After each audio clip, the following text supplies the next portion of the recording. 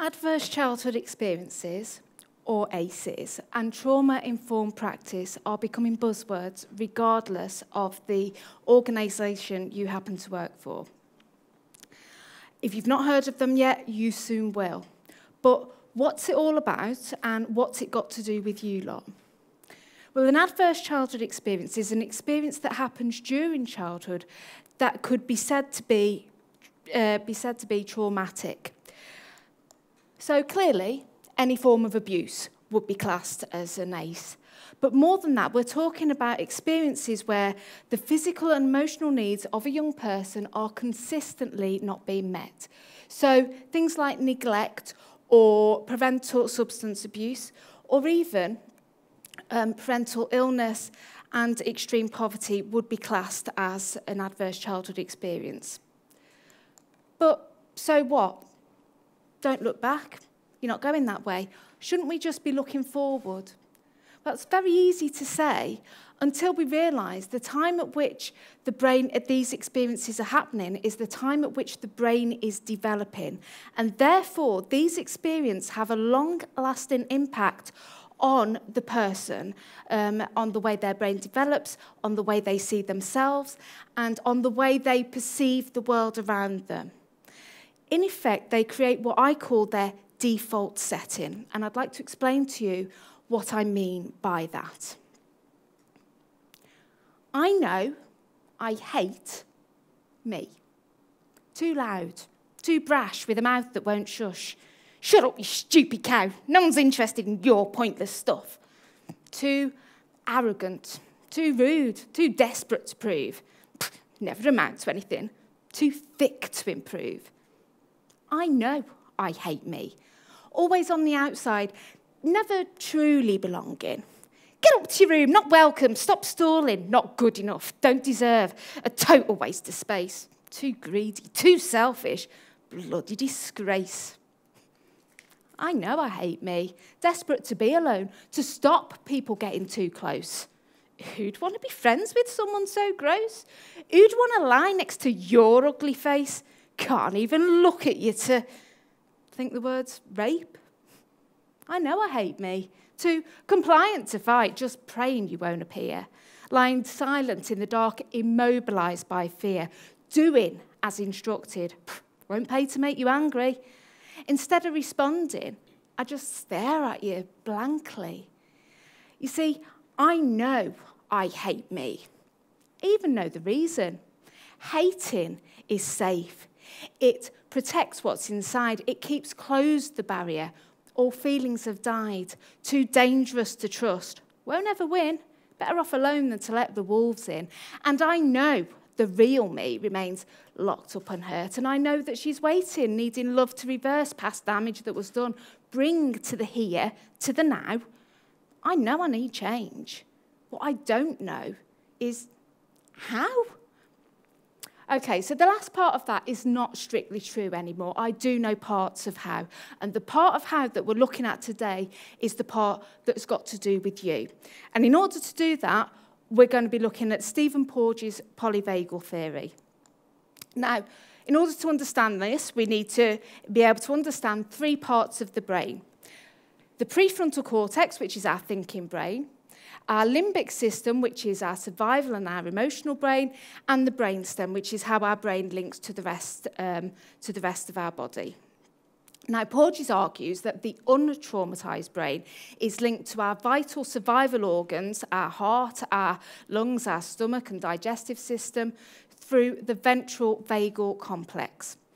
And what that means simply is that so long as there's no sense of threat or danger, that our breathing and our heart rates worked as they should do, everything's normal, everything's fine.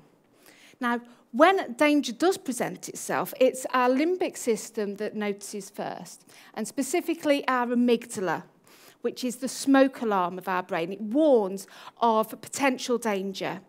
And the, um, the message is sent to the frontal brain um, to look for the danger. Messages are then sent back um, telling us whether you know we need to be worried or not. At which point, if we do, we enter our autonomic nervous system. And what that means is that our body gets ready to fight or flight the danger. So our heart rate and our breathing speeds up. Access to our stomach is, is cut off. We feel sick. Um, and that comes from when we were cavemen. And, you know, the danger was potentially a saber-toothed tiger, for example, and they needed to fight or run away from it in order to survive. That hasn't changed. So we will deal with whatever the danger is, and then we will return to our ventral vagal complex. Everything will go back to as it was. But for the traumatized brain, things don't work that way. And when we think to the past, we understand why. A child who is being brought up in traumatic circumstances live very much in their limbic system. Okay, their amygdala is constantly firing because they are constantly in danger, sometimes in danger of their lives. It is life threatening. And therefore, the limbic system becomes swollen and the amygdala becomes overactive which means that uh, also the, the pathways that should develop to the um, frontal brain during our, our ch childhood and during teenage years don't develop as they should, which means as adults, we, we are stuck within the limbic system. And what that means is that when we're triggered, our brain, our amygdala, sort of says danger, danger, danger, and it doesn't stop. It doesn't recognize that that danger was years ago and has long since passed. It keeps telling us that there's, there's something to be afraid of. And I want you to think about what that feels like. Imagine a deep and searing pain, no mark to act as proof, no swelling or temperature or sickness or heat, no sign of any kind. Fraud. Inside, the pain is constant, but it's one that cannot be described. Nails scratching across an everlasting board, the incessant screeching of a wheel, a tap dripping into an empty pot, drip, drip, drip, unrelenting, all played out together as the vice-like grip on the exhausted brain gets tighter, scratch, and tighter, screech, and tighter, drip, unceasing, scratch, unremitting, screech, unending, drip.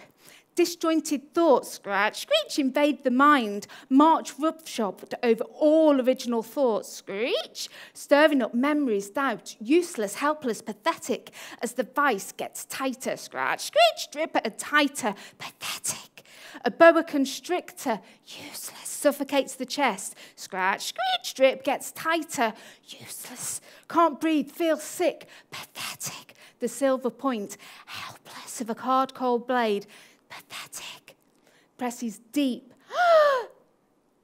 into soft, relenting flesh.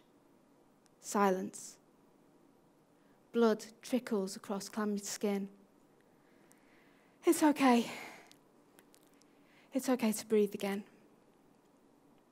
Okay, so we can see how unhelpful coping strategies such as self-harm can develop when that experience is so distressing.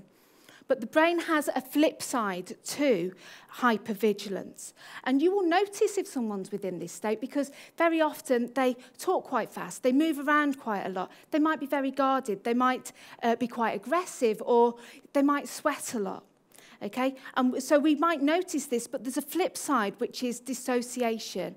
And the signs of dissociation is when someone is staring into space for a prolonged period of time, away with the fairies, you might say. And the reason for that is that basically their brain is cut off. As a child, you can't fight or flight the circumstances you are in. You are fighting adults in an adult world, and therefore the brain protects itself by shutting down, which is really, really helpful at the time. But the brain continues to use that strategy as an adult, which is really unhelpful. Okay? A glass wall surrounds me, trapped in a vacuum of nothingness. The daily actions continue as before, but they are nothing. They mean nothing. The actions robotic, feelings elusive. I have become a mannequin, an empty vessel who no one sees or regards, a blank face in a nameless crowd of no more significance than yesterday's torn up newspaper floating on the wind redundant. If I sit still enough, maybe I'll become a statue. Maybe I'll fade away. Maybe I'll become nothing. Okay, so you get my point, clearly. Okay, adverse childhood experiences have a lasting impact. But so what? What's it got to do with you? Not your problem, right? You can't change the past. What are you supposed to do about it? Now, the thing is, is that ACEs, you know, understandably lead to mental illness. And mental illness is uh, something that is protected under the Equality Act. Um, and therefore, organisations, regardless of what you are, have a duty, a legal duty, to make reasonable adjust adjustments. But, you might say, how am I supposed to know? People don't go around talking about, you know, past abuse or about mental illness even. Very few people disclose it. And you're right, they don't, because it's still taboo. The reason why I choose to talk about it. But there's the signs that I've already mentioned that you might notice. And the suggestions I'm going to make are ones that will benefit all members of your organisation, be it you know, schools, health organisations, businesses, whatever. Okay? Not just those who happen to have a traumatic past. So what's it all about then? What we need to realise is that um, a child being brought up in traumatic circumstances does not feel safe. They have, they have no sense of safety. And therefore, unsafe situations are triggering, extremely triggering. So we need to make our, our workplaces safe. So how do we do that? First of all, relationships. Absolutely vital. Okay? We need to be able to um, we treat everybody within that organisation, be it pupils, be it staff of any status, or patients, whoever, with unconditional positive regard. Talk to them, learn people's names, ask, how was your weekend? What did you get up with? Be genuine, be honest, okay? Um, if we're talking about um, schools, or healthcare, extend that relationship to parents, to carers. Have that wraparound support. Show that you care. Okay? And whilst we're at it, let's get rid of the backstabbing that goes on in the staff room. Because I'll tell you what, if you're backstabbing someone else whilst they're not there, then what are you saying about me? Too dangerous to trust. Won't never win.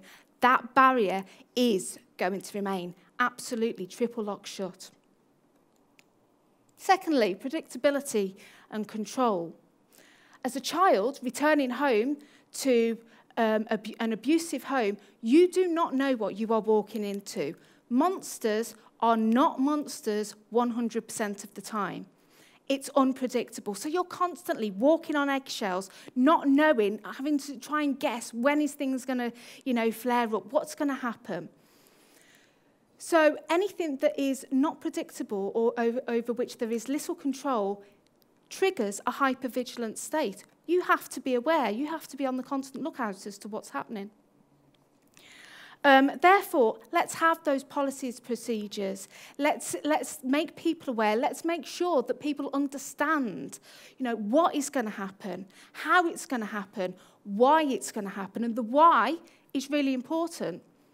Those Pathways that should have developed during childhood to the thinking brain haven't developed in the way they should. Therefore, whilst you might assume, oh, well, that's obvious. It's obvious why we do that. No, not necessarily. No, it's not. Let's be clear. And also, let's be person centered. Are policies appropriate? So, Is it, is it appropriate for a school, for example, to send a child out who is showing symptoms of hypervigilance because God only knows what's happening at home, is it appropriate to ring home and give them a detention? Or would it be more appropriate with that child to have a safe space for them to go to? Think about what is appropriate for the person that you are dealing with. And finally, positivity. The narrative of any adverse childhood experience is undoubted, undoubtedly negative. It is one of useless, helpless, pathetic. Okay? So you can either choose to confirm that by only ever pointing out the negative, and of course there's going to be negatives, no one's perfect. Okay? Or you can put that negative into a context um, by also highlighting the positive. So ultimately, what we're talking about is a cultural change. Okay? And you don't change culture through emails and memos. You change them through relationships, one conversation at a time. Thank you.